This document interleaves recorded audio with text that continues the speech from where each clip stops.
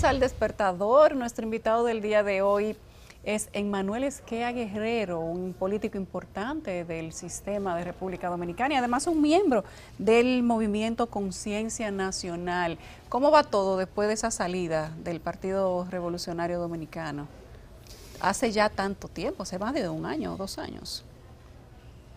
¿De qué? De, la, salida. La salida mía. Sí, no hace más. Sí, hace más. Fue desde el momento... Primero, buenos días a los amigos televidentes, a ustedes. Un placer estar con ustedes aquí. Muchas gracias por la invitación. Yo renuncié del PRD cuando el PRD firmó con los cachorros, como dicen, cuando se fue con el PLD. sí, desde ahí no tengo partido político. He estado en la oposición. Últimamente, hace unos meses, junto a un grupo de amigos, constituimos lo que se llama Conciencia Nacional, que es un movimiento tendente a procurar la unidad de la oposición frente al PLD todo lo que significa el PLD, un sistema de gobierno corrupto, desinstitucionalizador eh, y otras tantas cosas más que eh, no cabría el espacio para decirlas.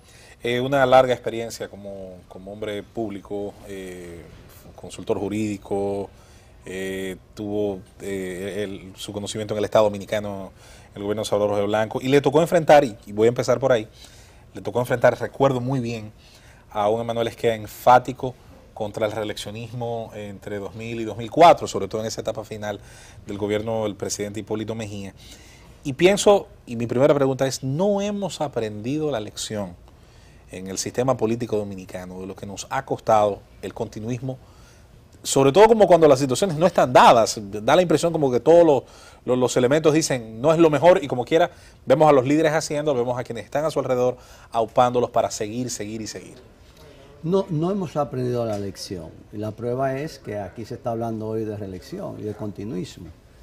Eh, y es una pena porque tanto el PLD, que es el que está en el poder, obviamente, a ellos les conviene el continuismo, eh, como la propia oposición, en la que yo me incluyo, no hemos sido lo suficientemente inteligentes para poder ponerle traba con tiempo al continuismo.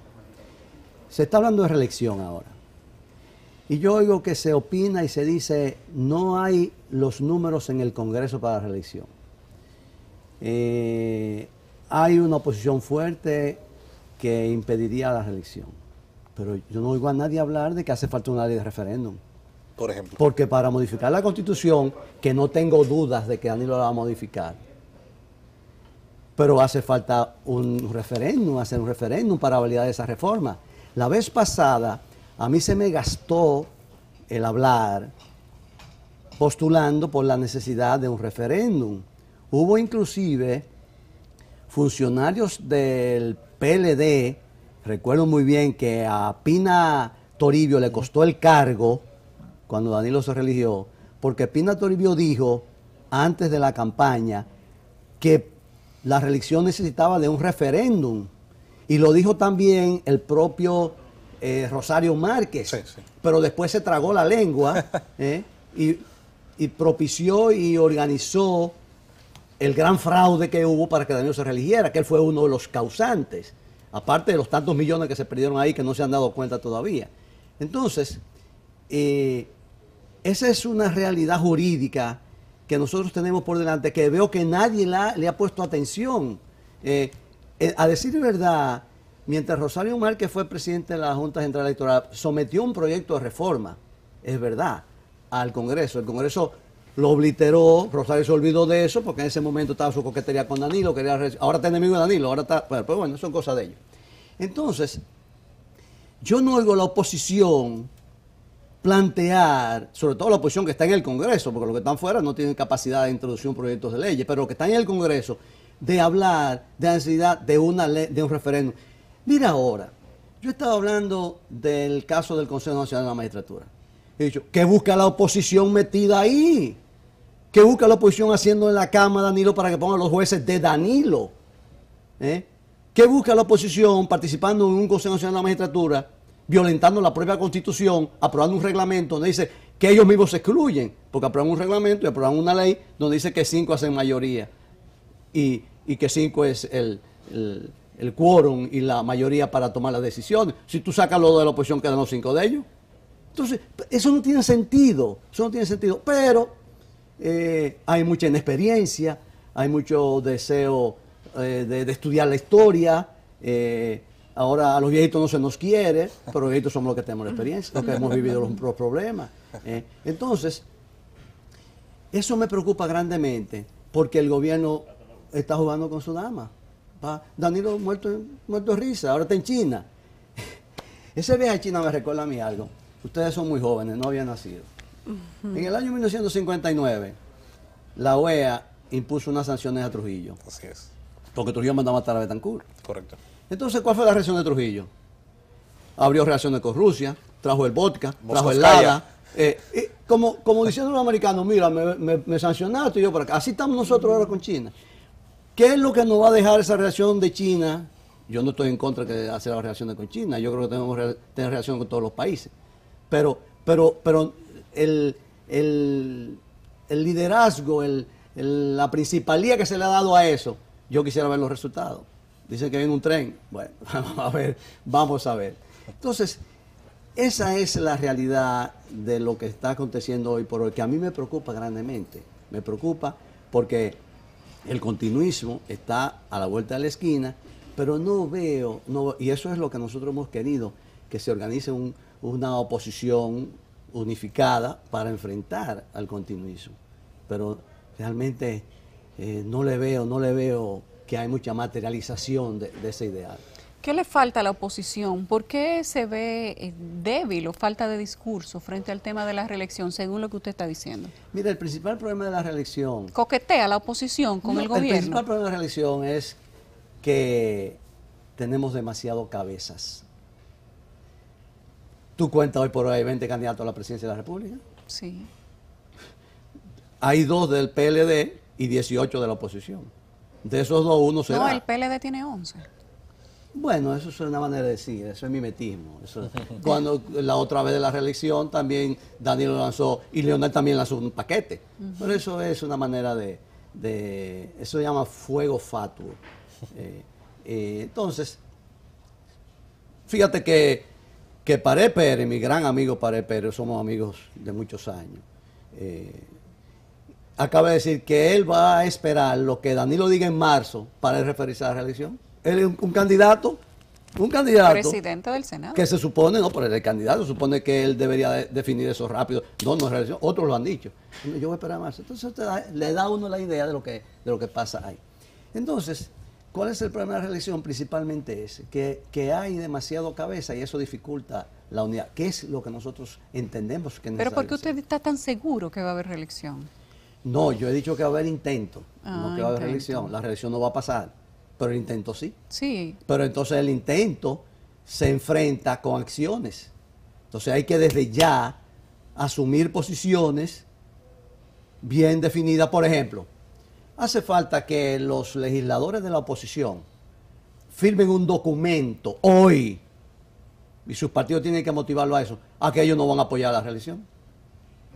Eso no, porque para aprobar la reelección o la reforma constitucional en el Congreso, no solamente los PLDistas pueden hacerlo.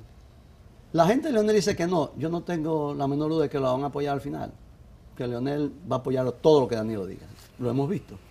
Ahora, la oposición tiene que hacer un compromiso serio ahora, los partidos políticos llamar a sus legisladores y decir, mire, vamos a firmar este documento aquí de honor, de que ustedes no van a apretarse a eso, ni se van a ausentar al Congreso, porque otra jugada de la oposición, de la oposición no, de los legisladores, cuando quieren apoyar sin apoyar, es ausentarse. Sí.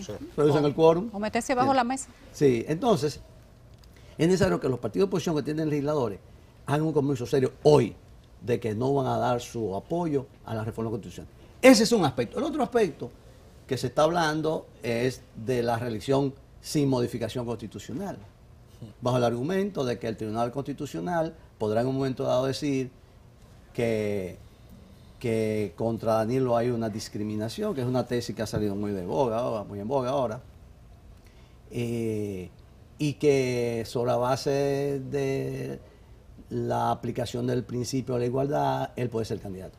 Yo creo que el Tribunal Constitucional ya está claro en eso. La última sentencia que hubo, eh, a mí me da la impresión de que ahí no puede haber ninguna variante.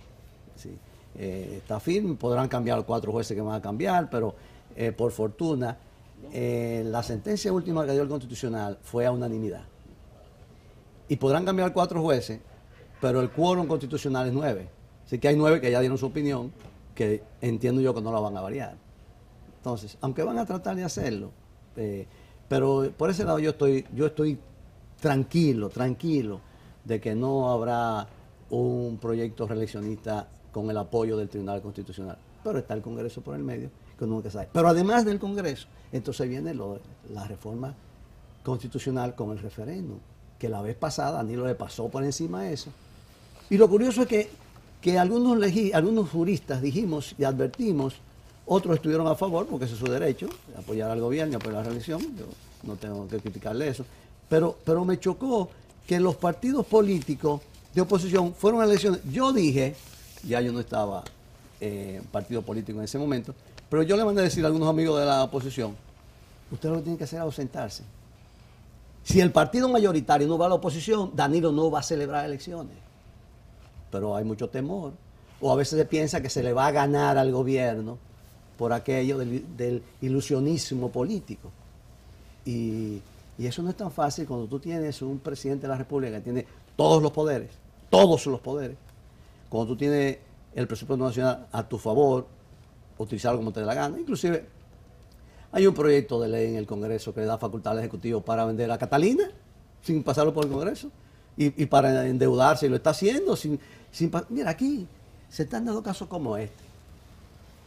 El gobierno está firmando una serie de, de empréstitos, emitiendo bonos. Son empréstitos, son empréstitos. Y no lo pasa por el Congreso. Y el argumento es, ah, que en el presupuesto del año pasado se aprobó un endeudamiento de X. Sí, se aprobó un endeudamiento de X, pero no se dice en qué condiciones. Es una aprobación que usted tiene que llevarla al Congreso para que el Congreso la ratifique, porque eso es lo que dice la Constitución. Pero ellos no la llevan. Y nadie dice nada. Nadie dice nada. Ese es el problema nuestro. Ese es el problema nuestro. Una corriente en América Latina desde hace muchos años, el que cree que es reciente tiene que ir para atrás, ha demostrado aparentemente, doctor, que los pueblos, después de cierto cansancio con los partidos tradicionales, eh, deciden probar otras alternativas. Adecos y copellanos, después del pacto de punto fijo, gobernaron cuatro décadas Venezuela, eh, la respuesta fue el chavismo. El Paraguay eh, de los Colorados eh, parió la alternativa de Lugo, aunque volvió otra vez a gobernar el Partido Colorado. El Partido Justicialista Argentino está destrozado en varios pedazos y corrientes y el radicalismo ya no es lo que era.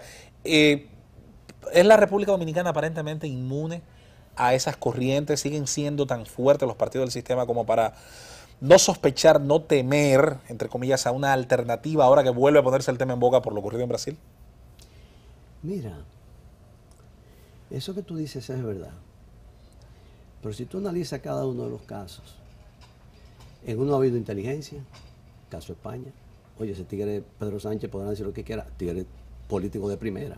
Ese tipo, con la oposición en la mano, tuvo el gobierno. Sí. Aprovechó una coyuntura. Aquí se han dado 50 mil coyunturas y no pasa nada. Tú tienes el caso, por ejemplo, de Venezuela, hubo falta coraje, Chávez. Tú coges el caso de Uruguay, por ejemplo, ha habido unidad. Entonces, inteligencia, coraje o unidad es necesario. Búscamela aquí. Búscamela. ¿Eh? Eso es lo que pasa. La, oposición dominicana carece de esas tres cosas. No hay, no hay, no hay. Pero, ¿cuál es la queja principal de todo el mundo? De que la oposición es débil aquí. Mira, a mí me da pena decirlo, yo soy oposición. A veces me dicen a mí algunos por el tuit, pero tienes usted a ser candidato. No, yo no quiero ser candidato de nada. ¿No podría ser eso un mantra a veces que se usa también para fijar la idea desde el inicio de que la oposición está debilitada, cuando lo que más hay son razones probablemente eh, para, para, para, quejarse? Para, se debilita porque cuando tú divides, debilitas. Y si tú tienes 18 candidatos, tú debilitas. Mira, los frentes para enfrentar un problema político siempre tienen un líder. En Venezuela un Chávez. Si hubiera habido cinco Chávez en Venezuela, no hubiera pasado lo que pasó.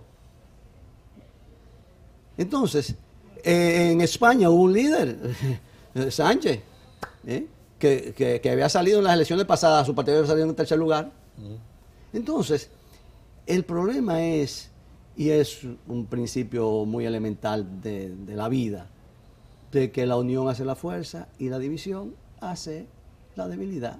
Entonces, eso es lo que pasa aquí. Por eso insistimos en la necesidad en que los par- Mira, aquí hay muchos movimientos que, que quieren unidad y los propios partidos políticos quisieran unidad, pero se recelan uno a otro. Yo quiero unidad conmigo a la cabeza.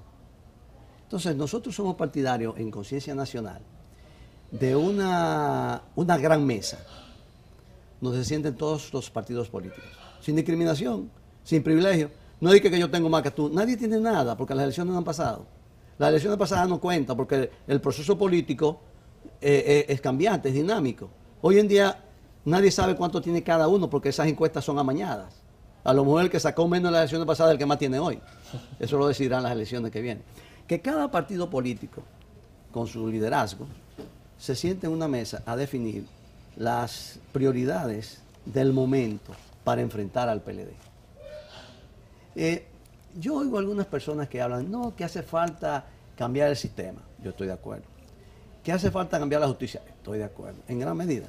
Que hace falta que el Congreso se, se modifique, que venga. Yo estoy de acuerdo con todo eso. Pero primero que todo eso, hay una necesidad, combatir el continuismo. No hacemos nada.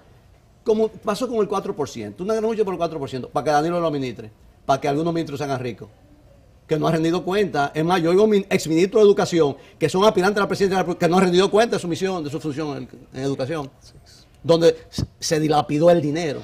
¿eh? Entonces, eso Bueno, y es- exministros también, personas que administraron la, el tema migratorio en el país y que también tienen el discurso de que van a resolver la situación, pero cuando estuvieron ahí no lo resolvieron. Exacto. Yo- Lo mí- mismo en diferentes Sí, pero a mí instituciones. me da risa el me sotorrío, como dicen, no lo hago públicamente, eh, pero me sotorrío cuando yo leo cosas como esa, que eh, yo voy a dedicar mi vida en favor de los pobres. Oye, pero por favor, es un discurso gastado. Yo voy a, a combatir, es más, yo voy a expulsar a todos los haitianos. Gente que, que tú, como tú dices, incapacidad. Entonces, es como burlarse de uno. Por eso es que cada día la gente va perdiendo la fe y la confianza en, la política en términos general. Porque los políticos, yo me incluyo, aunque yo no, estoy, no soy un activista, pero me incluyo, porque una vez lo fui, eh, hemos ido perdiendo cada día la capacidad de convicción con el electorado y con la gente. No nos creen, no nos creen. Doctor, es que usted ha mencionado que a la oposición no ha sabido identificar debilidades u oportunidades, que no ha tenido unidad, que no ha tenido inteligencia y que en otros países, con esperar simplemente el momento adecuado, hacerlo con inteligencia, dividir o unificar, se han conseguido grandes cosas, inclusive tumbar un gobierno. Aquí nosotros hemos tenido múltiples escándalos, múltiples situaciones, divisiones, unidades hacia la izquierda, diferentes escenarios. Mencióneme uno que usted entiende que se pudo haber aprovechado mejor por la oposición y no se hizo. O por Punta Catalina. O por eso fue un escándalo. Pero un escándalo mayúsculo en que se involucraron a funcionarios del PLD, de los dos gobiernos del PLD, inclusive exfuncionarios de otro partido. Y resulta que después se produjo una especie de selección en el que algunos que no estaban al principio lo metieron y otros que estaban lo sacaron. Y uno se pone a identificar, resulta que el que metieron de la oposición. Yo no sé si es culpable o inocente, yo no soy juez. Pero lo cierto es que es un hecho político, que hubo gente de la oposición que no estaban y lo metieron. Y hubo gente del gobierno que estaba y lo sacaron. Entonces, pero ahí están las fotos de Danilo en Brasil y de Lula aquí, la foto de Leonel en Brasil, los tucanos. Hoy sale una noticia ahí que ayer en, en el caso de los tucanos eh, recusaron a una juez de paz que iba a ser de, su- de suplente eh, para conocer el caso de los tucanos y que los abogados dijeron que tenía que ser un juez de primera instancia, no un juez de paz, eh, y reenviaron el asunto. Pero yo me pregunto, ¿pero cuando se habló de los tucanos se habló de legisladores ahí adentro? Y yo no veo legisladores ahí. Es más, el caso de la Sunlan, de la Sunlan, la Sunlan, es que se parecen todos. El caso ese de Punta Catalina está en la Suprema porque hay un legislador. Así debían estar los tucanos en Catalina. Pero ¿qué pasa? Lo que pasa es que ellos se atacan y se hieren hasta un momento. Entre bomberos no se pisan las mangueras, dicen. Entonces ese caso de los tucanos es muy representativo, muy representativo de lo que es el presente y el futuro de la unidad del PLD. Entonces, eso es lo que ha faltado aquí. Ha habido oportunidades, pero no ha habido una intención, ni una idea, ni un liderazgo que capitalice ese incidente. Mire, yo creo que se podrían contar con las manos los líderes de la oposición que hablaron de Catalina o que han hablado. Hay líderes que ni siquiera han mencionado a Catalina.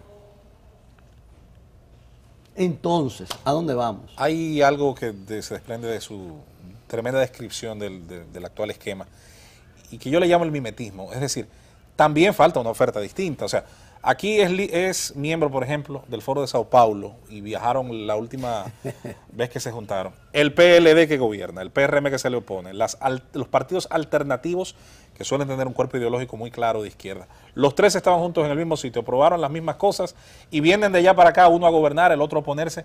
Los tres ofrecen más Estado, los tres ofrecen, eh, nadie se opone al tamaño del Estado dominicano, nadie habla de disminuirlo también falta una oferta, también falta, ¿no cree usted, una alternativa, así sea de cualquiera de los dos lados del esquema político, que diga esto se puede hacer de manera distinta? Mira, quizás la alternativa está, pero no nadie la cree. Porque el problema es que no es lo que tú digas, es lo que tú hagas. Exacto. Y hay muchos políticos que están ofreciendo alternativas que cuando tú miras para atrás su pasado, no te garantiza que van a cumplir tú vienes aquí y me hablas de que tú eres capaz de, ir al cine, porque tú otras veces has ido al cine. Pero que hay gente que no han hecho algo que están prometiendo cuando tuvieron oportunidad de hacerlo. Correcto. Entonces, eh, la gente no les cree. Ya el discurso político dominicano de muchos líderes, sobre todo los líderes de más nombradía, está desgastado. ¿Por qué? Porque su historial de vida, sus antecedentes, no te demuestran que sus palabras van a ser cumplidas. Aquí hay gente que se han caracterizado por incumplir su palabra. Y es más, el presidente de la República ha incumplido su palabra en reiteradas ocasiones. Y eso no, pasa nada. No pasa nada. Eh, porque yo me imagino que Danilo diría, pero hubo otro presidente que hizo lo mismo no se murió. Así que. ni el país tampoco. Ni el país se hundió. Agradecemos al doctor Emanuel Esquea. El tiempo en, los medios, usted lo sabe, es rápido, fuerte, es un verdadero dictador, ahora que hemos hablado de, la democracia y de, sus problemas. Eh, esperamos reencontrarnos una nueva vez para ver qué tanto podría haber cambiado en el proceso, sobre todo el esquema de nuestra oposición actual. Muchas gracias por estar con nosotros en esta entrevista. Muchas gracias a ustedes y de nuevo a los amigos televidentes, mis saludos. Gracias al doctor Esquia y gracias a ustedes. Nos vamos a una breve pausa. José Luis y yo nos despedimos por el momento. Al regreso venimos con la segunda hora del despertador. Que tengan muy buenos días y feliz viernes.